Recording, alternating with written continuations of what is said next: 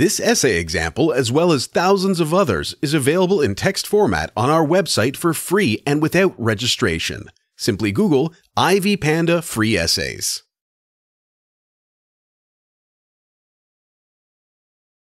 Introduction Written by Khaled Hosseini and narrated by Amir, the story's protagonist, the kite runner expatiates how a single event changed Amir's life completely. Amir narrates his childhood back in Afghanistan, where he grew up in one of the wealthiest families in Kabul. Violence in the volatile Afghanistan dominates the text of this book as people try to replace monarchy with republicanism.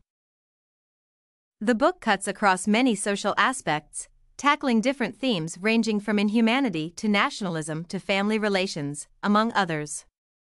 This paper elaborates on the theme of sin and redemption as applied in The Kite Runner.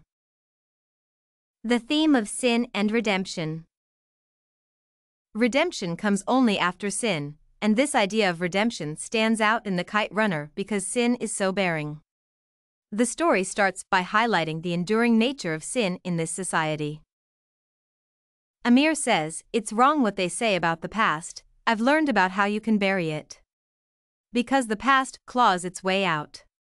What creeps back from the past? It is a sin in this context. Amir betrays Hassan twice despite the fact that they are friends. The first incident occurs when he finds Asef raping Hassan in the alley. Even though Hassan had stood for Amir in the past, Amir did not help him from his predicament or report the issue to Ali, for he would help Hassan. Amir is sinning by betraying his close friend. During his 13 birthday celebrations, Amir betrays Hassan once again by plotting to bring him out as a thief. Again, sin abounds. As the story unfolds, it becomes clear that everyone is almost guilty of sin, and he or she needs redemption. Asef is a sinner, for he rapes Hassan. Amir learns later in the story how Baba, his father, sinned. After Rahim Khan discloses Baba's secret to Amir, he realizes that everyone is sinful, and the reason why Baba is tough on him is that he is guilty of his sin. This makes Amir realize that their life has been one big lie, sin prevailed from yesteryears, and his betrayal of Hassan is just but a drop in a sea of sins. On the other side, to justify their cold blood killing of the adulteress, the Taliban are busy skewing Muhammad's words to vindicate their actions. They are sinful, and they know that they need redemption, and this is why they change Muhammad's words, something that Amir compares to his sin. Unfortunately, Amir does not know the way to redemption. He asks Hassan to hit him to get hurt and repay his sins. Amir feels that the only way to redemption is to get hurt the way he hurt Hassan. Amir does not complain after Asef tries to kill him, for he thinks he deserves all this as atonement for his past sins. Soraya is guilty of her sin of running away with another man, and she asks Amir to forgive her. Rahim Khan is ashamed of her sinful nature of not disclosing to Amir what Baba had done. She kept this as a secret even after Baba died, she could have told Amir, for it is his right to know anything to do with his father. The woman soldier at the border is sinful for asking Baba to sleep with her even though she is married. The idea of redemption sets in at last after Amir realizes that his past sins, together with those of his father, can only be atoned for by being good to people. He has to let go of the sin of discrimination that he has kept for years. He realizes that helping others would bring joy to his life, and this is why he decides to help Sohrab climb the ladder of success and felicity. Nevertheless, Rahim Khan wraps up the theme of redemption in this story.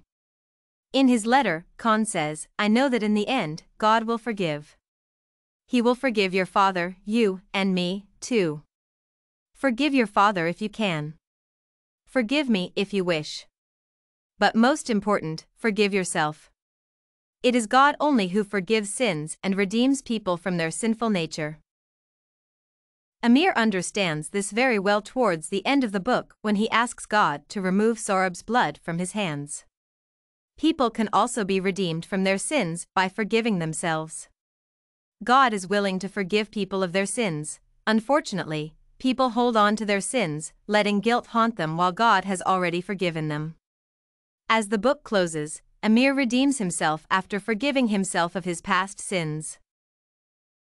Conclusion One of the most outstanding themes in The Kite Runner is the theme of sin and redemption. Most of the major characters are sinful.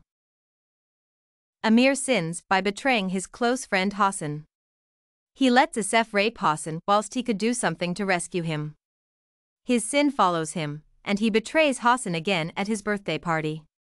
Baba has made many mistakes in the past, and Khan is guilty of keeping Baba's secret from Amir. Asef, the rapist, is a sinner, while Soraya has committed the sin of running away with another man. Amir does not get the issue of redemption, and he thinks the only way to do it is by paying for it through suffering. However, Khan sheds light on the issue of redemption by indicating that God will forgive all people and that people could redeem themselves by forgiving themselves. The theme of sin and redemption comes out clearly in this book. Did you like this theme of sin and redemption in the Kite Runner sample? To get more works like this one, make sure to check out the database of academic paper examples at ivypanda.com. You will find thousands of samples for all your study needs.